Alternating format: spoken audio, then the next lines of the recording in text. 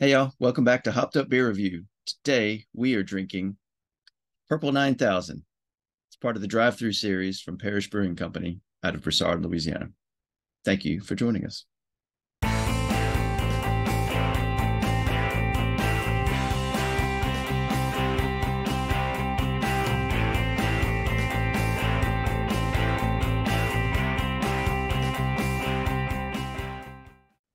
Hey, everybody, welcome to Hopped Up Beer Review, the show where we give you our unprofessional and somewhat biased opinion about the beer we are drinking and reviewing. We are back to do that again. We've got a fun one, and we are excited for this one for sure. I've got Andy in the attic. I'm, I'm just jumping right in. I got Andy in the attic. I got Jay. I'm Ben. What are we drinking today?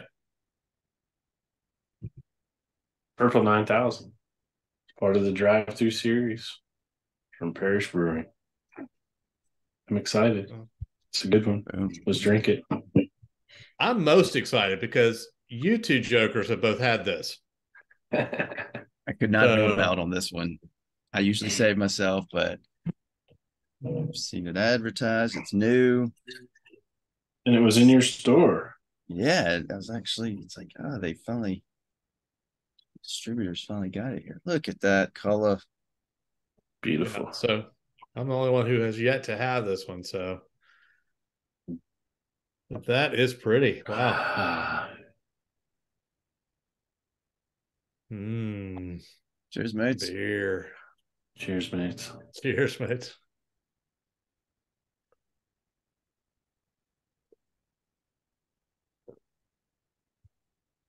Wow. Sweet syrupy goodness. That is good. It's a fun beer. All right, the drive-through Purple 9000. It's a sour. It's a fruited Berliner Weisse. And it's part, or it's 8%. And IBUs, I don't know, because Untappd says zero, but um, Parish did not indicate how many. So the drive-through series is, so Parish Brewing is uh, in southern Louisiana, and they have a, a series of their beers called the Drive Through, and they're based on Louisiana daiquiri flavors. And so this daiquiri is purple, purple 9000 is called, but they, for short, they call it perp down there. Um, so I looked up and before I get too deep into not just the innuendos, double entendres, mixed meanings behind the name, uses crystal hops. So um, I'll get into the other flavors, so the other ingredients. But I was like, okay, perp. Uh, I have to look up perp because it's been forever since I've been through Louisiana and trying their daiquiris. Granted, I grew up adjacent to Louisiana, right on the river. And my first formative years of alcohol experience were driving across the river to the bars and you know some were hole in the wall bars. I mean and where not only there was a bar but there was a packaged liquor store attached. And then there was a drive-through window where you could get packaged liquor or daiquiris and drive away.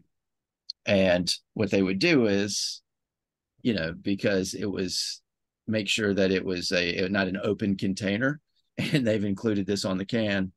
You know, they would put the straw with keep the top, you know, uh, part of the paper of the straw on. It's it's a closed container. It's not an open container in your vehicle, so it was legit legal to sell and drive away with.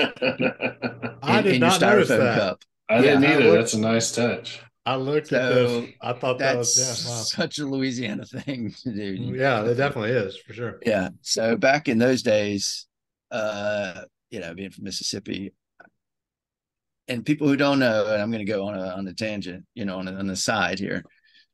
Uh, we used to get our driver's license at 15. Well, Louisiana was one of the last holdouts in the nation for um, upping the alcohol age to 21. They used to be 18 for years, and they lost out a lot of federal funding. So if you're driving down lots of parts of Louisiana, you know the roads are crappy. That's because they're way behind, even from years ago.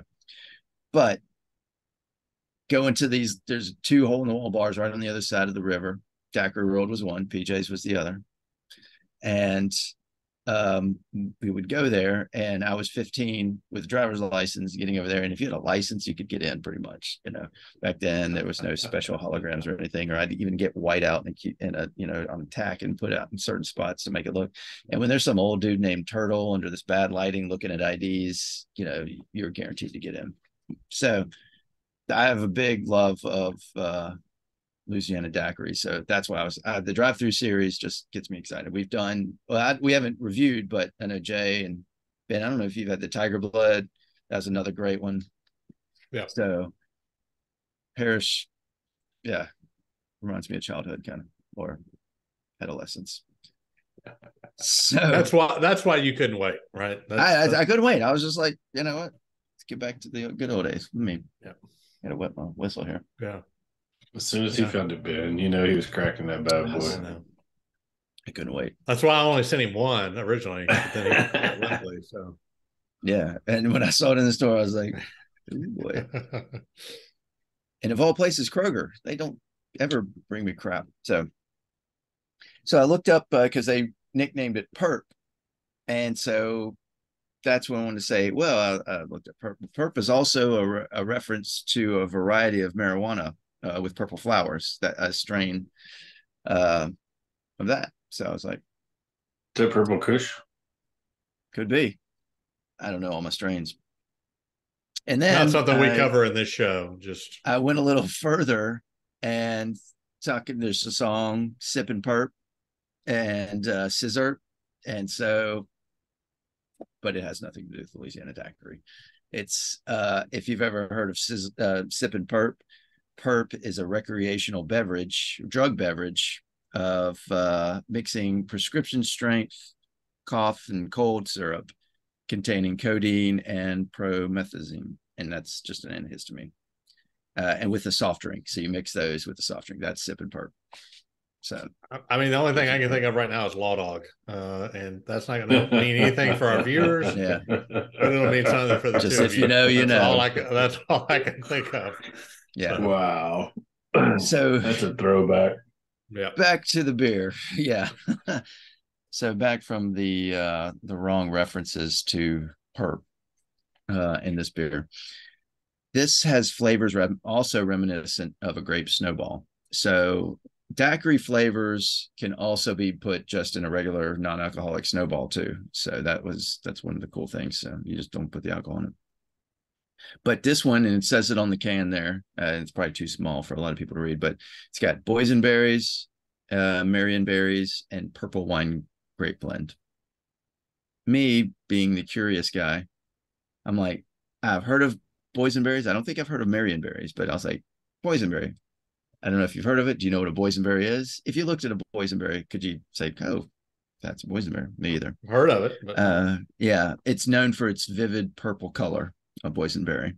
It's an actually, it's it was a genetically modified fruit, I guess you could call it, because it, it's a cross between a European raspberry, a European blackberry, an American dewberry, and a loganberry. It's got a hmm. kind of a sweet and tart flavor at the same time. So, and we'll show a, bro- a boysenberry right here. oh Ben, you got some editing to do.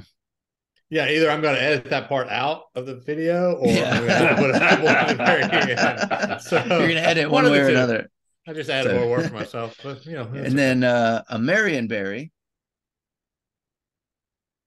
are there pictures of that on the web? I, I'm sure there are. Yes, If, if there are, um, then we'll throw one right here.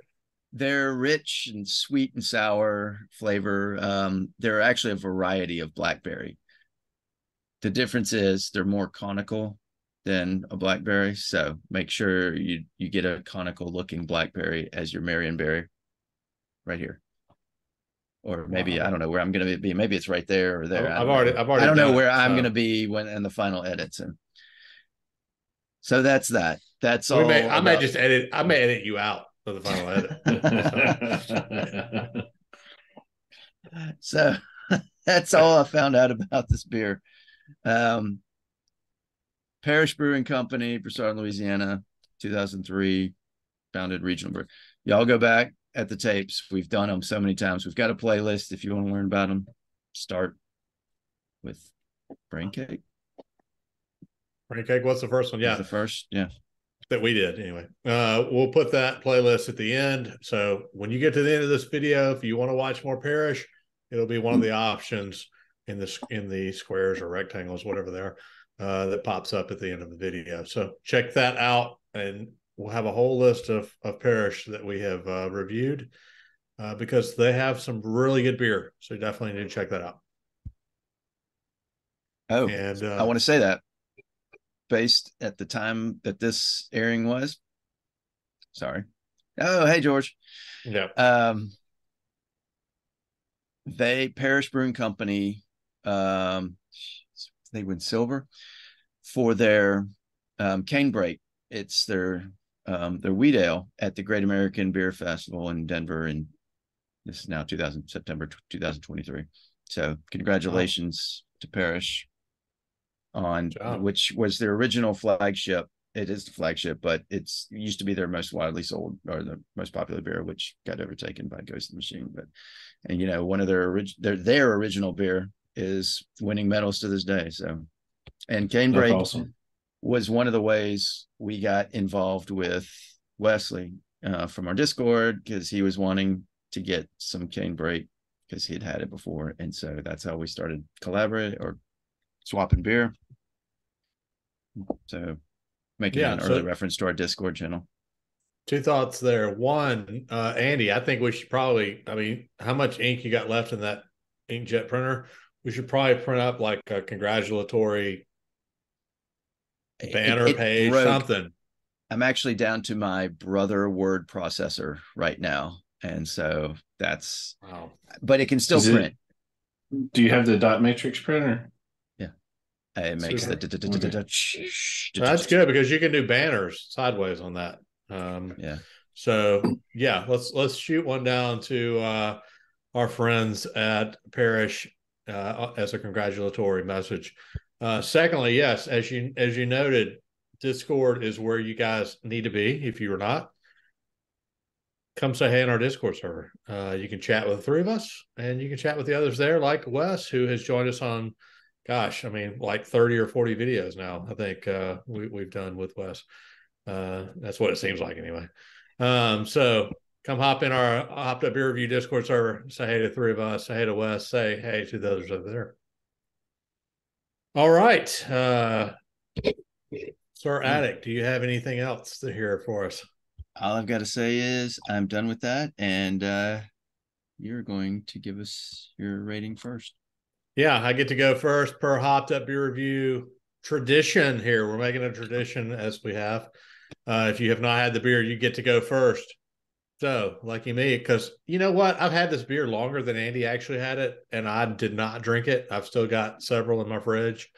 Um, so, you know, I'm going to do a little pat myself on the back for waiting here. But, uh, you know, I, I think this beer is really really good it's i like a really good sour this one is it's a little thick which i'm i'm fine with um but man it's got some really good flavor in here it it doesn't quite have that sour tart pucker punch in the face that i really really like from a sour but the flavor is fantastic it is very sweet but man it, it is good it definitely definitely reminds me of trips to Louisiana daiquiri bar. If you've ever done that and you find this beer, this beer is definitely for you.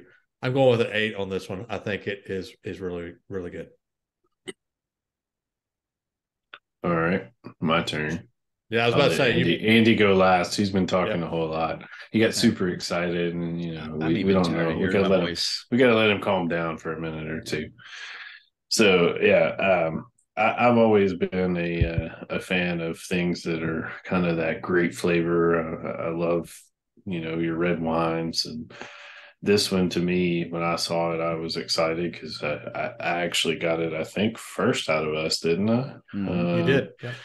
So I, I was I was on vacation and and just ran across it, or just at a store, and they had several Parish beers, and uh, I got I got excited like Andy and uh, you know, first blush when you crack this thing, you can smell all of that that berry and purple, you know, aroma comes through. Great flavor. I agree with you, Ben. I mean, it's it's more like a smoothie sour in a lot of ways. I guess would be a way I'd put it.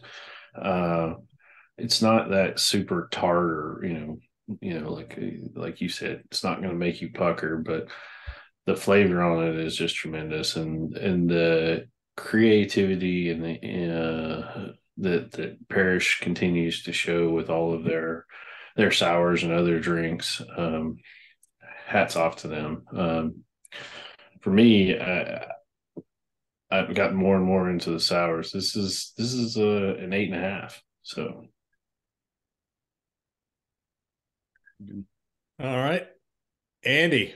Well, I've been um, kind of pondering my um, behavior with Untappd after drinking this because usually when I drink on tap or when I drink a beer and I'm going to rate on Untappd, especially if it's the first time, I take my pour it, take my picture, take some few sips, and then I give my rating.